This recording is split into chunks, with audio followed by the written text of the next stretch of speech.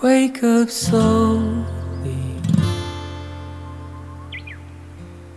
still in softly.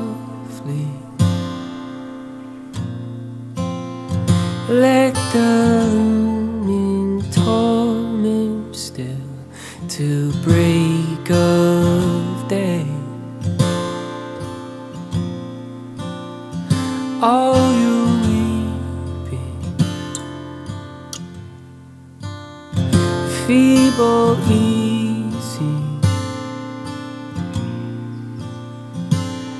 When you see the stuff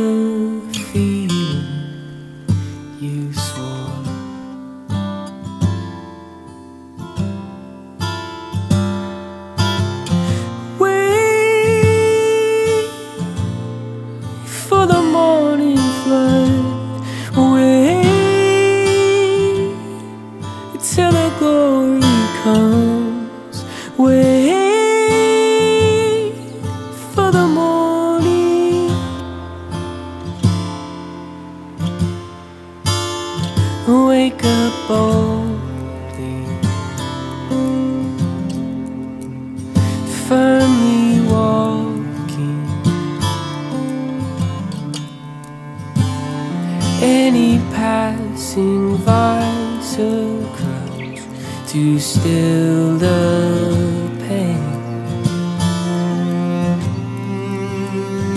All you drinking, feeble easy.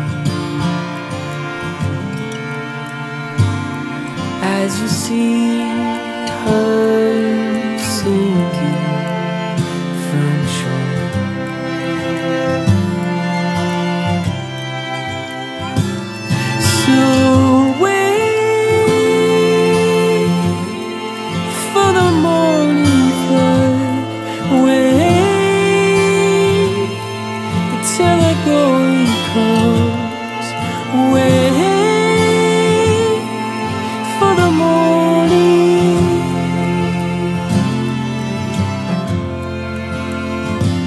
Young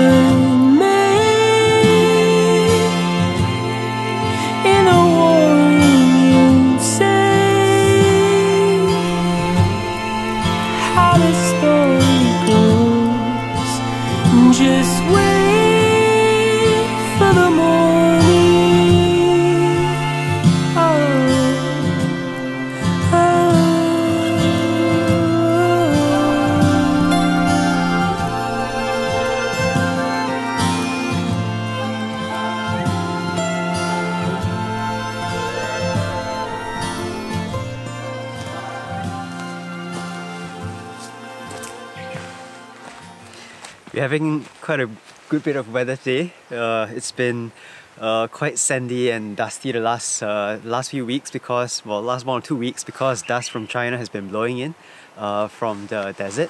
And then afterwards we had some sugi pollen, the cryptomeria pollen flying everywhere. Uh, it's supposed to have been quite bad, but living amidst uh, the cryptomeria forest, I didn't feel it at all. So maybe it's worse in the cities. Um, uh, what do you want to say? Yeah, uh, apart from the beautiful weather and the ume blossoms here, these are the Japanese apricot, uh, where we get the ume plums from. Uh, they're not plums, they're actually apricots, but we call them plums. Anyway, those things can be eaten in around June, and these flowers turn into fruits. The more important thing here, though, well, not more important, these are more important, but uh, the more major thing this week, though, is that the subsidy has been approved. Uh, you, remi- you may remember that I'm uh, going to open a cafe here next, uh, well, not next year, this year, uh, and we applied for subsidy because the total cost of renovations will easily easily range between fifty to sixty thousand US dollars, and there's a fund, uh, there's a, um, uh, a, a business restructuring anti-COVID subsidy by the Tokyo government. That funds three quarters three quarters of restructuring project. So uh, what we have applied for is money to renovate the roof of the bottom house. Uh, that will become the sitting area with sofa, long, big, big, nice table uh, for everyone to sit and enjoy some tea, coffee. Uh, maybe not coffee, I'm not sure, but anyway, uh, to, to enjoy food there will be uh, uh, the ware the storeroom that's now painted red. Uh, that's going to become a kitchen, and uh, beside that, the toilet will have a flushing toilet uh, with a nice septic tank. Uh, not just a septic tank with those bacteria and everything. It's an advanced septic tank, uh, and all that should begin sometime in April. So that's uh, what's going to be keeping me busy for the next uh, couple of months. The cafe is scheduled to open sometime in July, so I quite excited about that.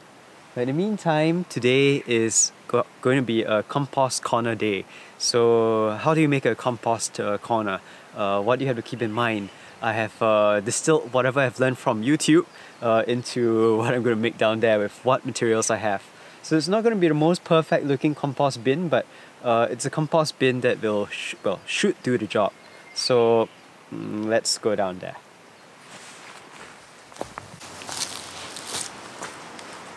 Alright, so this is going to be the compost corner. I've laid out the um, leftover wood from the deconstruction of this the shed that used to be here um, and the kitchen area there. Uh, all this wood left behind. So I'll be using all this, just screwing them together very simply uh, to form uh, two lots for compost here and here. This will be the front with removable uh, slats and here we will have uh, slats that are not remo- removable, removable uh, as well as the the ones behind it. Those will be fixed. So only the, the ones in the front can be removed, but uh, there will be gaps to al- allow air to come in. So uh, yeah, we're gonna get started.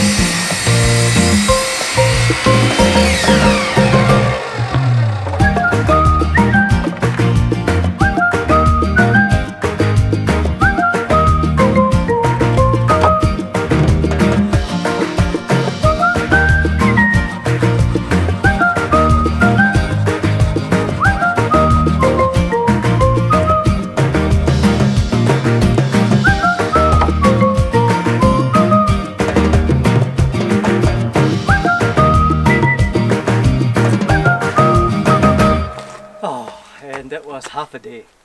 So I've used uh, a lot of waste wood that I have have from the demolition of this place, uh, and now I have two boxes for compost. All right, welcome to the next day. So what I've been doing here is uh, for the compost bin, I have put down on the very bottom uh, some uh, dried uh, bamboo bamboo shoots that was cut off because they're just growing everywhere, and also Miscanthus reeds. This is all on the bottom, and this is from the ground there, so it has some bacteria from the ground already. And uh, on top of that, my neighbors they make something called uh, Japanese cinnamon, cinnamon tree decorations. Those are used uh, at grave sites around uh, the period of Higan uh, when you enter a new season. Uh, the vernal equinox is coming up very soon, so lots of people are visiting grave sites, and my neighbors have been making lots of uh, nice arrangements. These are the cuttings uh, from the cinnamon trees that have uh, they are just all around, and uh, they are very nice and small. So they can decompose faster. Uh, I've received that this from them. Uh, like this. So the compost requires a nice mix of about 50-50, 50% green, full of nitrogen, 50% uh, that includes like uh, manure, so cow manure and all that. I'm going to put some in if I if I find some. Uh, chicken manure, can add them in if you want. Uh, and also browns 50% meaning uh, those things that are higher in carbon, which means uh, wood shavings, uh, paper, cardboard, uh, the dried twigs and all that. So 50-50 with, uh, I'm going to put in all sorts of stuff I've, I've eaten. So leftover vegetable peels and fruit peels and all, all, all that. So I'm not going to use any animal stuff. If I find any, any animal, uh, so for example like bones left over, uh, I mostly feed the smaller ones to Ume and Mori. But if I get any bigger bones, uh, pork ribs for example, uh, those I have to bury. I prefer to bury them because I don't want mice coming here to rummage through my, or rats or cockroaches rummaging through my, my food. So uh, meat scraps, they'll be buried. Uh, vegetable scraps, all go in here.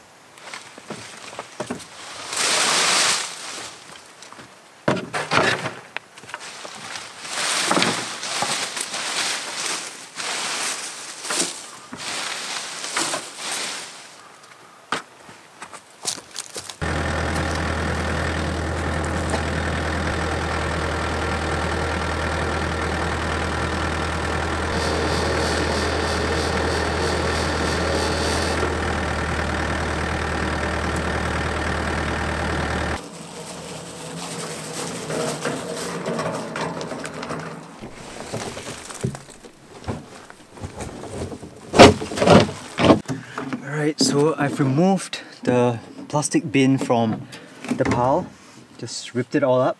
This is subsidized by the government, so many people have it, but it doesn't work very well because there are no holes on the side, the air doesn't move about, so things don't um, compost away easily. You can see the layers I've put in. The layer that hasn't really composted is the rice husk, or the rice husk that, that I expected because rice husks do take some time to decompose and if not mixed in well uh, they will not uh, rot away. So I'm gonna move this over to the new compost tip and mix it in with everything else there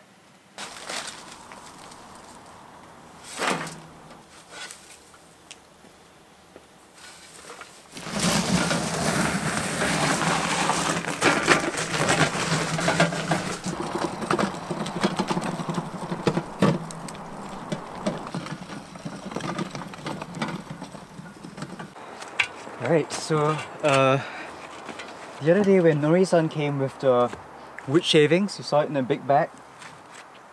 He was discussing stuff with me about the renovations that are coming up soon. So I didn't have time to put in the wood shavings on camera.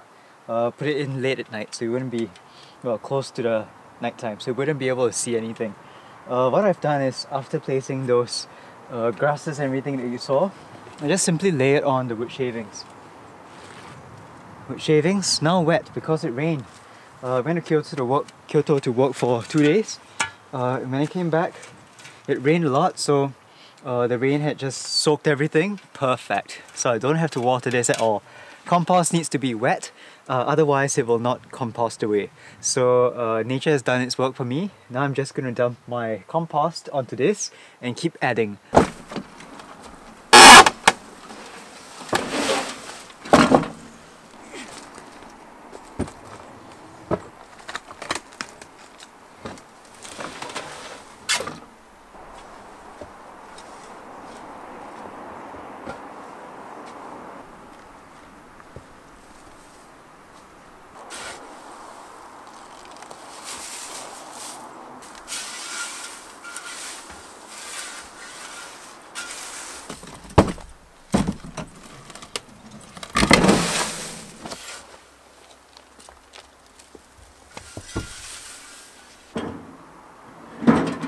Alright, I believe we have come to the end of this episode.